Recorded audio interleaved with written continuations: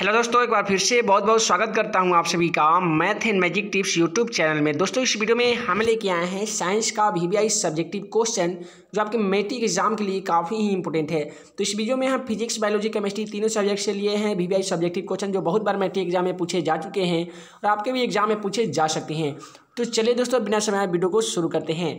दोस्तों, यहाँ पे आप पहला क्वेश्चन देख पा रहे होंगे, जो दिया गया है, चुंबकीय फ्लक्स क्या है? और इसका ए सही मात्रक लिखें, ठीक है? चुंबकीय फ्लक्स क्या है? इसका ए सही मात्रक लिखें तो सबसे पहले हम फिजिक्स से देखने वाले हैं पाँच सब्जेक्टिव क्वेश्चन, उसके बाद में बायोलॉजी से, उसके बाद में केमिस्ट्री से। तो इसका आप सही जवाब लिखिएगा कि समतल सतह पर चुंबकीय क्षेत्र के अभिलंबवत तथा सतह के क्षेत्र के गुणनफल को चुंबकीय फ्लक्स कहते हैं। इसका ए सही मात्रक दोस्तों वेयर होता है, जिसे फाई द्वारा निरूपित किया जाता है। ठीक है?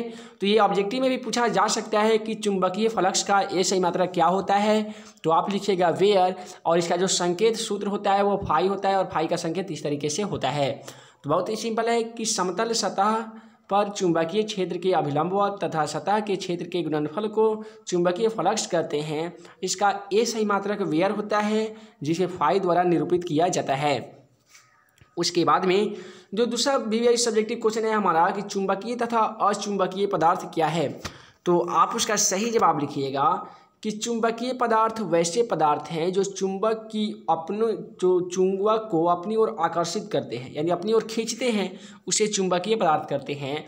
जैसे निकेल है, कोबाल्ट है, लोहा है इत्यादि, ये सभी ऐसे पदार्थ है जो चुंबक को अपनी ओर आकर्षित करते हैं, यानी खींचते हैं। ठीक है? उसे चुंबकीय पदार्थ करते हैं। बहुत ही सिंपल दोस्तों है।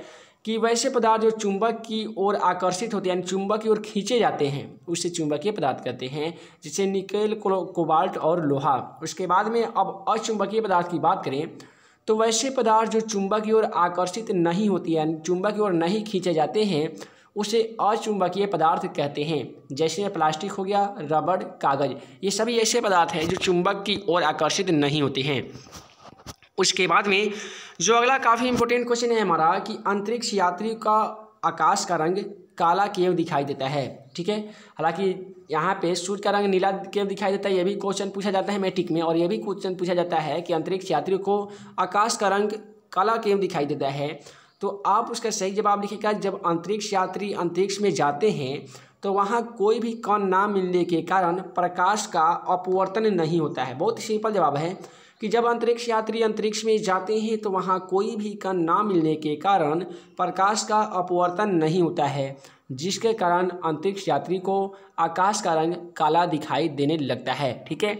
तो उम्मीद करता हूँ कि आप सभी को वीडियो पसंद आ रहा होगा। पसंद आ रहा होगा तो वीडियो को लाइक, शेयर और चैनल को सब्सक्राइब करना ना भूलें, ताकि ऐसे ही मैटी की आने वाली वीडियो आपसे मिलती रहे। उसके बाद में कुछ हमें अगला दिया गया है कि सूर्योदय और सूर्यास्त के समय सूर्य का रंग लाल दिखाई देता है क्यों? ठीक है? तो हालाँकि आप क्वेश्चन में अगर पढ़ते होंगे तो आप इसको देखे होंगे। बहुत बार ये क्वेश्चन पूछा गया है मेटी एग्ज़ाम में कि सूर्योदय और सूर्यास्त के समय सूर्य का रंग लाल क्यों दिखाई देता है?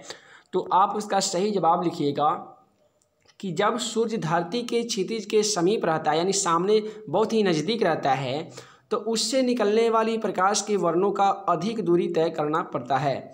आपसे बता दें, जिसके कारण कम तरंग दैर्ध्य वाले प्रकाश के वर्णों का तो प्रकीर्णन हो जाता है, किंतु लाल वर्ण का प्रकीर्णन कम होता है, यानी सबसे कम जो प्रकीर्णन होता है वो लाल वर्ण का होता है। यही कारण है कि सूर्योदय और सूर्यास्त के समय सूर्य का रंग लाल दिखाई देता है। एक बार फिर से सुन लीजिए, जब सूर्य जब सूर्य, यहाँ पे देखिए, जब सूर्य धरती के क्षितिज के समीप रहता है तो उससे निकलने वाली प्रकाश के वर्णों को अधिक दूरी तय करनी पड़ती है, जिसके कारण जो कम तरंग दैर्ध्य वाले जो भी प्रकाश के वर्ण होते हैं, उनका प्रकीर्णन हो जाता है, किंतु लाल वर्ण का प्रकीर्णन सबसे कम होता है। यही कारण है कि सूर्या, सूर्योदय या सूर्यास्त के समय सूर्य का रंग लाल दिखाई देता है, ठीक है? तो चलिए फ्रेंड्स अगला क्वेश्चन को देख लेते हैं। और क्वेश्चन नंबर यहाँ पे अगला दिया गया कि टिंडल प्रभाव क्या है? ये भी आपको मैट्रिक बारे में बहुत बार पूछा गया है कि टिंडल प्रभाव क्या है? तो आप इस लिखिएगा कि पोलाइडी विलियन के कणों द्वारा प्रकाश के प्रकीर्णन को टिंडल प्रभाव कहते हैं। फुले शब्द दे के लिखना है कि टिंडल प्रभाव के कारण ही प्रकाश का मार्ग दिखाई देता है। चूँकि आपको ये मैट्रिक एग्ज़ाम में दो मार्क्स में पूछे जाएँगे, इसलिए आपको ज़्यादा लाइन में नहीं लिखना है। कि लिखना है पोलाइडी विलियन के कणों द्वारा प्रकाश के प्रकीर्णन को टिंडल प्रभाव कहते हैं और टिंडल प्रभाव के कारण ही प्रकाश का मार्ग दिखाई देता है। उसके बाद जो अगला क्वेश्चन है हमारा कि वायुमंडलीय अपवर्तन से आप क्या समझते हैं? ठीक है, वायुमंडलीय अपवर्तन से आप क्या समझते हैं? तो आप उसका सही जवाब लिखेंगे कि वायुमंडल का घनत्व भिन्न भिन्न प्रकार के होते हैं। पृथ्वी के समीप वाले वायुमंडल का घनत्व सबसे अधिक होता है और ऊंचाई बढ़ने के साथ साथ वायुमंडल का घनत्व भी घटते जाता है। जब प्रकाश वायुमंडल के विभिन्न घनत्व वाली परतों से गुजरता है तो उसके दिशा में जो होने वाले परिवर्तन को ही वायुमंडलीय अपवर्तन कहते हैं। बहुत सिंपल है दोस्तों, एक बार फिर से देख लीजिए कि वायुमंडल का घनत्व तो भिन्न भिन्न प्रकार के होते हैं। पृथ्वी के समीप वाले वायुमंडल का घनत्व तो सबसे अधिक होता है और ऊंचाई बढ़ने के साथ साथ वायुमंडल का घनत्व तो भी घटते जाता है। जब प्रकाश वायुमंडल के विभिन्न घनत्व वाली परतों से गुजरता है तो उसके दिशा में होने वाले परिवर्तन को ही वायुमंडलीय अपवर्तन कहते हैं। तो दोस्तों, फिजिक्स से हम लोग कम से कम पाँच सब्जेक्टिव क्वेश्चन देख लिए हैं। उसके बाद में चलिए, आपको ले चलते हैं बायोलॉजी के क्वेश्चन की ओर, जिसमें हम लोग देखेंगे पाँच वी सब्जेक्टिव क्वेश्चन बायोलॉजी का। तो यहाँ पे आप क्वेश्चन नंबर क्वेश्चन यहाँ पे देख पा रहे हैं बायोलॉजी का कि मेंडल ने किस प्रकार सिद्ध किया कि अ, की प्रभावी लक्षण अप्रभावी लक्षण को लुप्त नहीं कर सकता है, ठीक है? तो ये आपके मेट्रिक एग्ज़ाम में मेंडल के जो प्रयोग हैं, ये बहुत बार पूछे जाते हैं कि मेंडल के प्रयोग के बारे में आप कुछ लिखिए।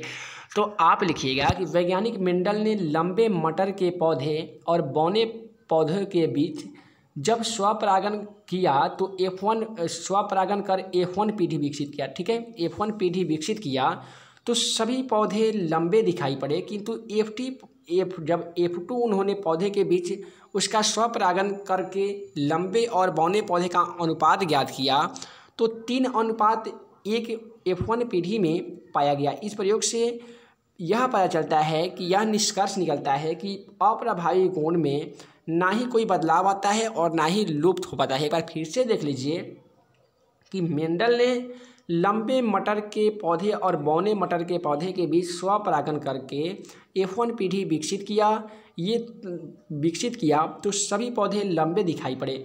किंतु एफ़ टी पौधे में जब एफ़ टू पौधे के बीच स्वपरागन करने पर लंबे और बौने पौधे का अनुपात तीन, अनुपात एक एफ़ वन पीढ़ी में पाया गया तो इस प्रकार, इस प्रयोग से यह निष्कर्ष निकला है कि अप्रभावी गुण में ना ही कोई बदलाव आता है और ना ही लुप्त हो पाता है।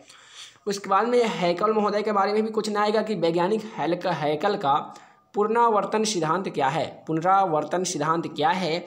तो आप उसका सही जवाब लिखिएगा कि हैकल नामक वैज्ञानिक ने पुनरावर्तन नामक सिद्धांत का प्रतिपादन किया, ठीक है? इस सिद्धांत के अनुसार, प्रत्येक जीव अपने भ्रूणीय विकास में, अपने जातीय विकास के इतिहास को दोहराता है, किंतु उसके कुछ पद संक्षिप्त होते हैं और कुछ रूपांतरित भी होते हैं। तो ये है दोस्तों हैकल महोदय का पुनरावर्तन का सिद्धांत, ठीक है? तो चलिए अगला क्वेश्चन को देख लेते हैं। तो दोस्तों, वो पूछा जाएगा कि लेमार्ग का पुनरावर्तन का सिद्धांत, और यहाँ पे आपसे एक और क्वेश्चन पूछा जाएगा कि लेमार्ग का जैव सिद्धांत क्या है? तो आप लिखिएगा कि फ्रांसीसी वैज्ञानिक लेमार्ग का जैव विकास सिद्धांत निम्नलिखित तथ्यों पर आधारित है, ठीक है? उसके बाद में आप सभी को रोमन नंबर एक दो में लिखना है, रोमन नंबर एक में लिखिएगा, वातावरण का सीधा प्रभाव, ठीक है? ये लिख कर आपको डैश देना है। उसके बाद में लिखना है कि जीव की संरचना कायिकी व्यवहार पर वातावरण का सीधा प्रभाव पड़ता है, ठीक है? उसके बाद में रोमन नंबर दो में लिखना है, अंगों के उपयोग एवं अनुप्रयोग। उसके बाद में डैश दे के लिखना है कि अंगों से, अंगों के कम या अधिक प्रयोग के कारण शरीर में जो परिवर्तन होता है, उसे अपारजिता लक्षण कहते हैं। एक बार फिर से देख लीजिए, लेमार्क का जैव सिद्धांत। आप लिखेगा, फ्रांसीसी वैज्ञानिक लेमार्क लेमार्क का जैव विकास सिद्धांत निम्नलिखित तथ्यों पर आधारित है। रोमन नंबर एक में लिखिएगा, वातावरण का सीधा प्रभाव। जीव की संरचना कायिकी व्यवहार पर वातावरण का सीधा प्रभाव पड़ता है। रोमन नंबर दो में लिखना है, अंगों के उपयोग एवं अनुप्रयोग लिखकर डैश देना है और लिखिएगा, अंगों के कम या अधिक प्रयोग के कारण शरीर में जो परिवर्तन होता है, उसे अपराजिता लक्षण कहते हैं। उसके बाद में जो अगला क्वेश्चन है, हमारा अनुवंशिक गुणों, गुण से आप क्या समझते हैं तो आप उसका बिल्कुल सही जवाब लिखिएगा। कि माता पिता के ऐसे गुण जो पीढ़ी दर पीढ़ी उनके संतानों में संरचित होते हैं, ठीक है? उसे अनुवंशिक गुण या पैतृक गुण कहते हैं। बहुत ही सिंपल है कि अनुवंशिक गुण से आप क्या समझते हैं? आप लिखिएगा माता पिता के ऐसे गुण जो पीढ़ी दर पीढ़ी उनके संतानों में संरचित होते हैं, उन्हें अनुवंशिक गुण कहते हैं या पैतृक गुण कहते हैं। उसके बाद में जो अगला क्वेश्चन है हमारा कि जेनेटिक इंजीनियरिंग क्या है? जेनेटिक इंजीनियरिंग क्या है? तो आप उसका बिल्कुल सही जवाब लिखेंगे। जेनेटिक इंजीनियरिंग को जीन सर्जरी या पूर्ण योजना डीएनए तकनीक कहते हैं। जेनेटिक इंजीनियरिंग में जीन अथवा जीन का कोई खंड निकाल कर दूसरे जीव में जोड़ दिया जाता है। इस प्रकार नए निर्मित जीवों को ट्रांसजेनिक जीव कहते हैं। ये अनुवांशिक रूप से रूपांतरित जीव भी होते हैं, ठीक है? तो जेनेटिक इंजीनियरिंग जो भी स्टूडेंट को अभी तक याद नहीं होगा तो मैं जिस तरीके से बतलाया हूँ, आप चाहें तो इसका स्क्रीनशॉट ले लें या आप अपने कॉपी में नोट कर लें और इसे याद कर लें। उसके बाद में जो अगला क्वेश्चन है हमारा कि मानव में लिंग निर्धारण कैसे होता है? उम्मीद करता हूँ कि आप सभी को ये मालूम होगा कि मनुष्य में तेईस जुड़े क्रोमोजोम पाए जाते हैं, यानी गुणसूत्र पाए जाते हैं जिसमें बाईस जोड़े क्रोमोजोम एक समान होते हैं और तेईसवा जो लिंग गुण जो क्रोमोजोम होते हैं, उसे हम लिंग क्रोमोजोम कहते हैं। जो दो प्रकार के होते हैं, ये एक एक्स वाई होते हैं जो नर में होते हैं और एक होते हैं एक्स एक्स जो मादा में होते हैं। जब नर का एक्स क्रोमोजोम मादा के एक्स क्रोमोजोम से संजोग करता है तो पुत्री का जन्म होता है, ठीक है? किंतु जब नर का वाई क्रोमोजोम मादा की एक्स क्रोमोजोम से संजोग करता है तो पुत्र का जन्म होता है। तो मैं एक बार फिर से मैं आपको अपनी भाषा में बता दूँ। तो जब नर, देखिए, नर का मतलब पुरुष और मादा का मतलब इसी तो जब पुरुष में क्या होते हैं? एक्स, वाई होते हैं और मादा में क्या होते हैं? एक्स एक्स होते हैं। तो कहने का मतलब जब नर का एक्स मादा के एक्स से अगर संजोग करता है तो क्या जिसका जन्म होता है? ये पुत्री का होता है, एक्स एक्स। अगर नर का वाई और मादा के एक से संजोग करता है तो आपका पुत्र का जन्म होता है। तो इस प्रकार से मानव में लिंग का निर्धारण होता है, ठीक है? तो दोस्तों, अगर आपको भी हो रहा है मैथ, फिजिक्स, केमिस्ट्री और बायोलॉजी में प्रॉब्लम तो डाउटनेट के व्हाट्सएप नंबर आठ चार सौ चार सौ चार सौ पे किसी भी क्वेश्चन का फ़ोटो खींचिए और तुरंत व्हाट्सअप करें आठ चार सौ चार सौ चार सौ पे। दोस्तों, यहाँ पे किसी भी कठिन से कठिन सवालों का जवाब सिर्फ़ दस सेकंड में पा सकते हो, जिसका लिंक मैंने डिस्क्रिप्शन बॉक्स में दे दिया है। आप डिस्क्रिप्शन बॉक्स को फॉलो करें और वहाँ से डाउट नोट एप्लीकेशन को डाउट डाउनलोड करें और करें अपने हार्ड डाउट की छुट्टी।